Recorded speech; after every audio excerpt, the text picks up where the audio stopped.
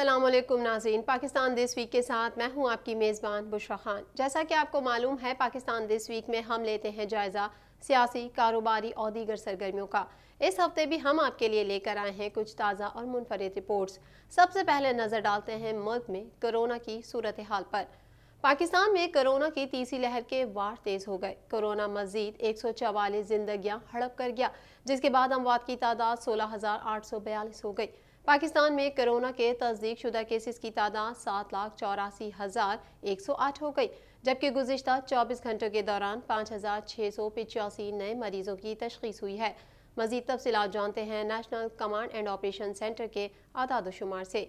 National command and operation centre के ताज़ा तरीन आदाद शुमार के मुताबिक गुजशत चौबीस घंटों के दौरान पाँच हज़ार छः सौ पिचासी नए केसेस रिपोर्ट हुए। पंजाब में दो लाख बयासी हज़ार छः सौ उनहत्तर, सिंध में दो लाख पिछहत्तर हज़ार आठ सौ पंद्रह, खैबर पख्तूनख्वा में एक लाख दस हज़ार आठ सौ पिछहत्तर बलूचिस्तान में इक्कीस हज़ार तीन सौ पैंसठ, गिलगित बल्तिस्तान में पाँच हज़ार दो सौ इकतालीस, इस्लामाबाद में बहत्तर हज़ार एक सौ पचास, जबकि आज़ाद कश्मीर में सोलह हज़ार एक सौ तिरानवे केसेस रिपोर्ट हुए। मुल्क भर में अब तक एक करोड़ चौदह लाख इकतीस हज़ार दो सौ इकतालीस अफराद के टेस्ट किए गए। गुजशत चौबीस घंटों के दौरान तिरपन हज़ार आठ सौ अठारह नए टेस्ट किए गए। अब तक छह लाख बयासी हज़ार दो सौ नब्बे मरीज़ सेहतियाब हो चुके हैं, जबकि चार हज़ार छह सौ बावन मरीजों की हालत तशवीशनाक है। पाकिस्तान में कोरोना से एक दिन में एक सौ चवालीस अफराद जाबहक हुए, जिसके बाद वायरस से मरने वालों की तादाद सोलह हज़ार आठ सौ बयालीस हो गई। पंजाब में सात हज़ार सात सौ निन्यानवे, सिंध में चार हज़ार पाँच सौ छिहत्तर, खैबर पख्तूनख्वा में तीन हज़ार उनतीस, इस्लामाबाद में छः सौ बावन, बलोचिस्तान में दो सौ सत्ताईस, गिलगित बल्तिस्तान में एक सौ चार और आज़ाद कश्मीर में चार सौ पचपन मरीज़ जान से हाथ धो बैठे। वज़ीर अजम ने कोरोना एस ओ पीज़ पर अमल दरामद के लिए फ़ौज की खदमात हासिल कर ली। इमरान खान कहते हैं, एहतियात ना की गई तो आने वाले दिनों में भारत जैसे हालात हो जाएँगे। कोरोना के हवाले से कौमी रबता कमेटी के अजलास के बाद कौम से खिताब करते हुए वज़ीर अजम इमरान खान का कहना था कि कोरोना की तीसरी लहर ने पूरी दुनिया को अपनी लपेट में ले रखा है। दीगर ममालिक की नस्बत हमारे पड़ोसी मुल्क में अबतर हालात हैं। वज़ीर अजम के खिताब की मजीद तफसीत जानते हैं इस रिपोर्ट में। आलमी महलिक वबा करोना वायरस के हवाले से कौमी रबता कमेटी के अजलास के बाद कौम से खिताब करते हुए वज़ीर अजम इमरान खान का कहना था कि अगर हम गुजशत बरस अस्पतालों पर तवज्जा न देते तो शायद आज हम पाकिस्तान में बेहतर हालात न देख रहे होते। कोरोना एस ओ पीज पर सख्ती से अमल की ज़रूरत है। अगर भारत जैसे हालात हो गए तो मजबूरन हमें लॉकडाउन करना पड़ेगा। मुझे बहुत से लोगों ने मशवरा दिया है कि मुल्क में मुकम्मल लॉकडाउन लगा दिया जाए, लेकिन मुझे एहसास है कि लॉकडाउन से सबसे ज़्यादा गरीब तबका पिस जाता है। मुझे तो आज कह रहे हैं लोग कि लॉकडाउन कर दो। लेकिन हम इसलिए नहीं कर रहे क्योंकि बार बार मैं कहता हूँ कि जो बेचारे दिहाड़ीदार हैं, जो जो जो मज़दूर हैं, जो जो बेचारा तबका कमाता है तो बच्चे खाते हैं, वो सबसे पहले मुतासर होगा। वज़ीर अजम का कहना था कि कोरोना की तीसरी लहर ने पूरी दुनिया को अपनी लपेट में ले रखा है। दीगर ममालिक की नस्बत हमारे पड़ोसी मुल्क में अब तर हालात हैं। वहाँ अस्पतालों की और ऑक्सीजन की कमी के बायस लोग मर रहे हैं। पाकिस्तान में भी आवाम एहतियात नहीं कर रहे और हमें खदशा है कि आने वाले चंद दिनों में पाकिस्तान में भी वही हालात हो सकते हैं जो इस वक्त भारत में है। इस वक्त हिंदुस्तान में उनको उठाने पड़ रहे हैं। यानी कि शहरों का लॉकडाउन करना पड़ेगा।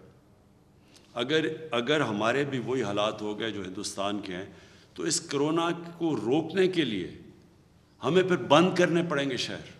इमरान खान ने कहा कि गुजशत बरस पाकिस्तान में बहुत एहतियात की गई, लेकिन अफसोस के साथ कहना पड़ रहा है कि इस बार कोई शख्स एन सी ओ सी की जानब से दी गई हिदायत पर अमल नहीं कर रहा। मैं बार बार कह रहा हूँ कि ये ना हो तो हमें मजबूरन सब बंद करना पड़ जाए। हुकूमत अब कोरोना एस ओ पीज पर अमल दरामद के लिए सख्ती करेगी और इस बार हमने पुलिस और रेंजर्स के अलावा फौज को भी कहा है कि वो सड़कों पर आए और आवाम को एस ओ पीज पर अमल कराएँ। कि मैंने पाकिस्तानी फ़ौज को भी कहा हुआ है कि वो अब एस ओ पीज़ को अमल में ना लाने के लिए वो भी आ, हमारी लॉ इन्फोर्समेंट हमारी पुलिस के साथ वो अब सड़कों पर निकलेंगे। क्योंकि हम आ, अब तक कहते रहे लोगों को कि एस ओ पीज़ पे चलो लेकिन हम देख रहे हैं कि लोगों के अंदर ना कोई खौफ है, ना कोई एहतियात कर रहे हैं और इसी की वजह से ये तेज़ी से ऊपर जा रहा है। सबक वज़ीर अला पंजाब शहबाज शरीफ को जेल से रिहा कर दिया गया। लाहौर एहतसाब अदालत ने मनी लॉन्ड्रिंग केस में कोट लखपत जेल में कैद पाकिस्तान मुस्लिम लीग नून के सदर शहबाज शरीफ के जमानती मचल के मंजूर करके उनकी रोबकार जारी कर दी। जेल हुकाम ने रोबकार मौसू होते ही शहबाज शरीफ को जेल से रिहा कर दिया। मजीद तफसीत जानते हैं इस रिपोर्ट में। लाहौर एहतसाब अदालत ने मनी लॉन्ड्रिंग केस में कोर्ट लखपत जेल में कैद, पाकिस्तान मुस्लिम लीग नून के सदर और सबक वज़ीर अला पंजाब शहबाज शरीफ के जमानती मचल के मंजूर करके उनके रोब कार्ड जारी कर दी। जेल हुकाम को रोब कार्ड मौसू होते ही शहबाज शरीफ को जेल से रिहा कर दिया गया है। मनी लॉन्ड्रिंग केस में शहबाज शरीफ को छह माह और पच्चीस दिनों के बाद रिहाई मिली है। उनकी रिहाई के मौके पर हमजा शहबाज, राना सनाउल्ला ख्वाजा साद रफीक और दीगर रहनुमाओं के अलावा कारकुनान की बड़ी तादाद जेल के बाहर मौजूद थी। शहबाज शरीफ के पचास पचास लाख रुपए के जमानती मचल के सैफुल मलूक खोकर और मोहम्मद नवाज़ ने जमा कराए। इससे कबल जमानती मचल के नामुकम्मल होने के बायस देर हुई। जमानती मचलकों पर दर्ज गवाह अदालत न पहुँच सका, जबकि वकील के क्लर्क ने गवाह का नाम तब्दील करने के लिए वक्त मांग लिया। मचलके के गवाह शुएब अहमद मिर्ज़ा के ना पहुँचने पर गवाह तब्दील किया गया। ख्याल रहे कि गुजशत रोज लाहौर हाई कोर्ट के फुल बेंच ने मुस्लिम लीग नून के कायद शहबाज शरीफ की जमानत मंजूर की थी। पाकिस्तान ने अकवा मुतहदा के तीन अहम इदारों की रुकनीत हासिल कर ली। तर्जुमान दफ्तर खारजा के मुताबिक पाकिस्तान तीनों कमीशन की रुकनीत यकम जनवरी दो हज़ार बाईस से संभालेगा। दफ्तर खारजा की जानब से जारी होने वाले बयान के मुताबिक पाकिस्तान ने एक और एजाज़ हासिल कर लिया है। अकवा मुतहदा ने पाकिस्तान को तीन इदारों की रुकनीत दे दी है। मजीद अहवाल इस रिपोर्ट में। पाकिस्तान ने अकवा मुतहदा के तीन इदारों की रुकनीत हासिल कर ली। तफसीत के मुताबिक दफ्तर खारजा की जानब से जारी होने वाले बयान में कहा गया है कि पाकिस्तान ने एक और एजाज हासिल कर लिया है। अकवा मुतहदा ने पाकिस्तान को तीन इदारों की रुकनीत दे दी है। तर्जुमान दफ्तर खारजा के मुताबिक पाकिस्तान ने जराइम की रोकथाम खातन से मुतल कमीशन और पॉपुलेशन एंड डेवलपमेंट कमीशन की रुकनीत हासिल की है और पाकिस्तान तीनों कमीशन की रुकनीत यकम जनवरी दो हज़ार बाईस तक संभालेगा। कमीशन मुख्तलिफ़ मुआशी और माशरती अमूर पर बैन अवी किरदार अदा करते हैं। मीशत में इसकाम आने तक आगे नहीं बढ़ सकते। असद उमर कहते हैं, विफाक की ज़्यादातर ताकत सूबों के पास चली गई है। विफाकी वज़ीर मनसूबाबंदी असद उमर का कहना है कि रोज़मर्रा सरकारी अमूर चलाने के लिए कर्ज लेना पड़ रहा है। हमारा करंट अकाउंट खसारा इस वक्त सरप्लस में चला गया है। विफाकी वज़ीर मनसूबाबंदी असद उमर ने Pakistan institute of development economics के इसलिहाती एजेंडे की तकरीब से खिताब में मजीद क्या कहा, आइए जानते हैं इस रिपोर्ट में। विफाक की वज़ीर मनसूबाबंदी असद उमर ने Pakistan institute of development economics के इसलिहाती एजेंडे की तकरीब से खिताब करते हुए कहा कि हम तीन साल मीशत के बहुत मुश्किल और कामयाब सफ़र से गुजर कर आए हैं। मुल्क में माशी खसारे का हजम हर साल बढ़ता जा रहा है। मीशत की इमारत के लिए बुनियादें डाल चुके हैं। अब यहाँ से तरक्की का सफ़र शुरू होगा। विभागी वज़ीर ने कहा कि मीशत की ग्रोथ एक मुस्तकम पॉलिसी के ज़रिए हासिल की जा सकती है। पाइट ने पाकिस्तान की मीशत की ग्रोथ के लिए एक फ्रेमवर्क तैयार किया। ग्रोथ खुद ब खुद नहीं होती, उसके पीछे सोच होती है। असद उमर का ये भी कहना था कि ग्रोथ की शरह नमू की नौयत क्या है, ये जानना लाजमी है। रोज़मर्रा सरकारी उमूर चलाने के लिए कर्जे लेने पड़ रहे हैं। रोज़मर्रा अखराज चलाने के लिए भी अगर कर्जे दरकार हों तो मीशत में इसकाम लाना बहुत ज़रूरी है। हुकूमती अरकान कौमी असम्बली ने भी फ्रांसीसी सफ़ीर की मुल्क बदरी का मुतालबा कर दिया। अपोजिशन अरकान ने बात करने की इजाज़त न मिलने पर स्पीकर डाइस का घेराव कर लिया। लब्बैक या रसूल अल्लाह और ताजदार ख़त्म नबूत के नारे लगाते रहे।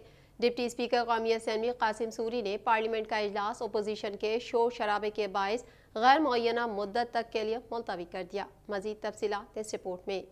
हिजब इख्तलाफ के साथ साथ अब हुकूमती अरकान कौमी असम्बली ने भी फ्रांसीसी सफ़ीर की मुल्क बदरी का मुतालबा कर दिया है। डिप्टी स्पीकर कौमी असम्बली कासिम सूरी की जेर सदारत होने वाले इजलास में वक्फा सवाल के दौरान अपोजिशन की जानब से शोर शराबा किया गया और पॉइंट ऑफ़ ऑर्डर पर बात करने का मुतालबा किया गया। डिप्टी स्पीकर कासिम सूरी ने कहा कि रूल्स के मुताबिक ऐवान चलाने दें, पहले वक्फा सवाल पूरा होने दें वो बाद में मौका देंगे। अपोजिशन अरकान ने बात करने की इजाज़त न मिलने पर स्पीकर डाइस का घेराव कर लिया।